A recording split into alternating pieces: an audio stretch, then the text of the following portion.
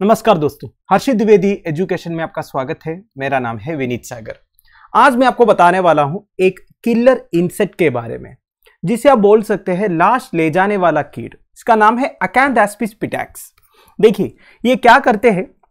ये जो इंसेक्ट है, ये चीटू को खाते हैं छोटे छोटे इंसेक्ट्स को खाते हैं बेसिकली और उन इंसेक्ट्स के शरीर के अंदर जो फ्लूइड है, उसे पी लेते हैं। अब जो डेड बॉडी बचता है ना उसे अपना पीठ में रख देते हैं। इसी तरह, जैसे कि आप इस फ़ोटो में देख सकते हो।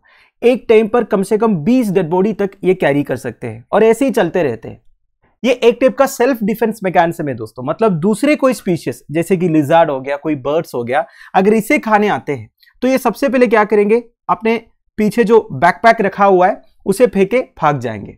तो जैसे मैंने आपको बोला अकैंथेस्पिस पिटैक्स जो है, एक असैसिन बग स्पीशीज है दोस्तों, जो प्राइमरली चीटियों को खाते हैं। और चीटियों का सेस का जितने भी छोटे छोटे इंसेक्ट्स हैं, उन्हें भी खाते हैं, जैसे कि फ्लाइज हो गया स्मॉल ग्रास होपर्स हो गया बीटल्स हो गया। तो जैसे मैंने आपको कहा, ये बेसिकली एक सेल्फ डिफेंस मैकेनिज्म है, या फिर आप कैमोफ्लैश बोल सकते हैं। कैमोफ्लैश मतलब क्या होता है? कुछ स्पीशीज दुश्मन से बचने के लिए अपना अपेयरेंस चेंज करते हैं। उसे कैमोफ्लैश बोलते हैं। जैसे कि गिरगिट के बारे में आपको पता है, वो अपना कलर चेंज करते हैं। अब आपको ध्यान रखना है The nymphs of this species create a pile of ant carcasses on their backs for camouflage. देखिए, ये जो काम है ना डेड बॉडीज कैरी करने वाला, ये केवल अखैंदास्पिस पीटैक्स का निम्फ्स करते हैं। निम्फ मतलब क्या होता है? एक इंसेक्ट का सेक्सुअली इमेच्योर जो स्टेज है ना, उसे आप निम्फ बोल सकते हैं। जब वो सेक्सुअली मैच्योर हो जाएगा या फिर रिप्रोडक्टिव स्टेज में पहुँच जाएगा, उसे आप अडल्ट बोल सकते हैं कि नहीं? उससे पहले का जो स्टेज है, जब उनका ग्रेजुअल ट्रांसफॉर्मेशन होते रहते हैं, उसे आप निम्फ बोल सकते हैं। तो केवल nymph of the species create a pile of ant carcasses on their backs for camouflage adult ये काम नहीं करते हैं। तो ये इंसेक्ट अखैंदास्पिस पीटैक्स कौन कौन से रीजियंस में पाए जाते हैं? या फिर कौन कौन से रीजियंस के लिए ये एंडेमिक है? East Africa near Lake Victoria in countries including Uganda, Kenya and Tanzania, also seen in West Asian country. Lake Victoria का लोकेशन देखिए। लेक विक्टोरिया एक्चुअली तीन कंट्रीज़ में स्प्रेड है। One is Uganda second is Kenya third is Tanzania साथ साथ में एक important zoological टेम के बारे में मैं आपको बता देता हूँ जो इस टॉपिक से रिलेटेड है। वो है नेक्रोफोरेसिस नेक्रोफोरेसिस मतलब क्या होता है? It is a sanitation behaviour sanitation behaviour माने साफ़ करने वाला एक बिहेवियर सफ़ाई मेंटेन करने वाला एक behaviour found in social insects such as ants bees wasps and termites करते क्या है दोस्तों? They carry away the dead bodies of members of their colony from the nest or hive area देखिए, इन insects का जो कॉलोनी है colony माने जहाँ पे ये रहते हैं, अगर उनके कोई भी मेंबर का डेथ हो जाता है तो वो डेड बॉडीज को वो सेम टाइम उधर से कैरी अवे करते हैं. उसे नेक्रोफोरसिस बोलते हैं. तो बेसिकली ये एक सैनिटेशन बिहेवियर है। कॉलोनी को साफ़ रखने का, साफ़ मेंटेन करने का एक बिहेवियर है ना। हम भी यही करते हैं ना। किसी मेंबर का डेथ हो जाता है तो डेड बॉडी को उठा के उधर से ले जाके दूसरे कोई जगह पे लेके जाते हैं और दफना देते हैं। अब ये जो इंसेक्ट्स है वो दफनाते तो नहीं है, कम से कम जहाँ पे लोग रहते हैं, उधर से उठा के दूसरे कोई जगह पे लेके जाते हैं। इसे नेक्रोफोरेसिस बोलते हैं दोस्तों। पर आप कंफ्यूज मत हो जाइएगा। अखैंदास्पिस पीटैक्स जो करते हैं वो नेक्रोफोरेसिस नहीं है। वो ये क्यों करते हैं? दुश्मन से बचने के लिए। अगर कोई दूसरे स्पीशीज उन्हें अटैक करने के लिए आते हैं तो ये सबसे पहले क्या करेंगे? ये जो बैकपैक है, उसे छोड़ के भाग जाएँगे। समझ तो इस प्रोसेस को क्या बोलेंगे दोस्तों? बेसिकली अपने शरीर का एक पार्ट को छोड़ के चला जाना as a self defence mechanism इसे एक्चुअली जोलॉजी में बोलते हैं ऑटोटोमी ऑटोटोमी को सेल्फ एम्पुटेशन भी बोलते हैं। It is the behaviour whereby an animal sheds or discards one or more of its own appendages usually as a self-defense mechanism to elude a predator's grasp or to distract the predator and thereby allow escape. सबसे अच्छा example है दोस्तों lizard जो करते हैं। ये अपना जो टेल है, पूछ है, ये छोड़ के भाग जाते हैं ना, किस लिए करते हैं? दुश्मन को डाइवर्ट करने के लिए। और लिसार्ड्स की एक एबिलिटी ये है, ये जो पूछ है या फिर टेल है, ये फिर से रीजनरेट हो जाएँगे। ठीक है? पर सारे एनिमल्स का ऐसा नहीं है, उनका बॉडी पार्ट्स रीजनरेट नहीं होता है पर लिजार्ड्स का नॉर्मल केस में रीजनरेट होते हैं। इसे ऑटोटोमी बोलते हैं।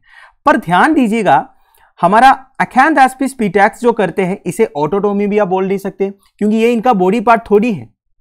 तो ये मेथड बेसिकली एक कैमोफ्लैशी आप बोल सकते हैं, जो दुश्मन से बचने के लिए ये इंसेक्ट डेवलप किया है। तो ये नेक्रोफोरेसिस ऑटोटोमी ये सब के बारे में मैंने आपको इसलिए बताया क्योंकि ये सारे रिलेटेड टॉपिक्स एग्जामिनेशन पर्सपेक्टिव में आपके लिए इंपॉर्टेंट है। ठीक है? फाइनली और भी कुछ इंपॉर्टेंट डिफेंस मैकेनिज्म्स के बारे में डिस्कस करते हैं, जो कुछ एनिमल्स यूज़ करते हैं दुश्मन से बचने के लिए।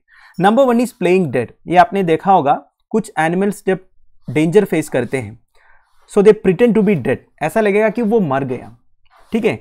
इसे थनाटोसिस बोलते हैं। ध्यान दीजिएगा थनाटोसिस और कुछ एनिमल्स ऐसा कुछ फ्लूइड एमिट करते हैं, जिसका बदबू बहुत है। तो वो बदबू की वजह से जो उन्हें अटैक करने के लिए आते हैं, वो भाग जाएँगे। ठीक है?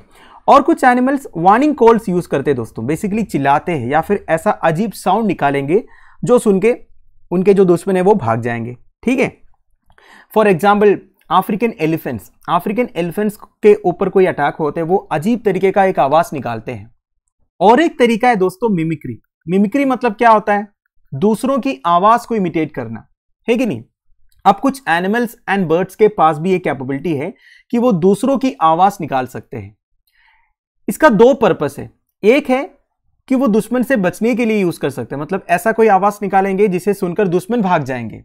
दूसरा पर्पस है, शिकार करने के लिए भी ये यूज़ करते हैं। जैसे कि for example African fork tailed drongo bird है दोस्तों। ये मीर कैट्स को मिमिक करते हैं। मीर कैट्स एक वार्निंग कॉल देते हैं। देखिए मीर कैट्स आपने देखा होगा, ये कॉलोनी में रहते हैं। एक साथ रहते हैं। अब मीर कैट का एक वार्निंग कॉल है, जिसे सुनकर सारे जो मीर कैट्स है वो भाग जाते हैं।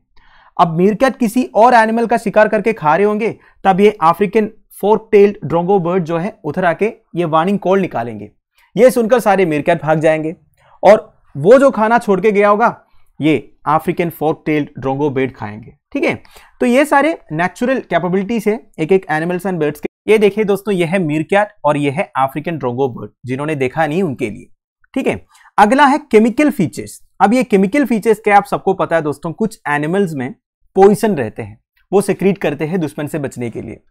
जैसे कि स्नेक्स हो गया, कुछ फ्रॉक्स हो गया, ये तो आपको पता है। एंड फाइनली वोल्वेशन वोल्वेशन मतलब क्या होता है? This is very important it is a defence behaviour in certain animals in which animal rolls its own body into a ball armadillo के बारे में आपने सुना होगा ये है आर्मेडिलो।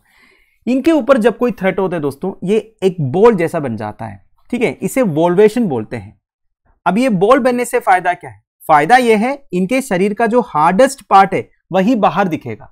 बाकी जितने इंपॉर्टेंट ऑर्गन्स वगैरह है, इनका हाथ, पैर, मुँह, सब कुछ अंदर होगा, ठीक है? ऐसे ये बच सकता है दूसरों से।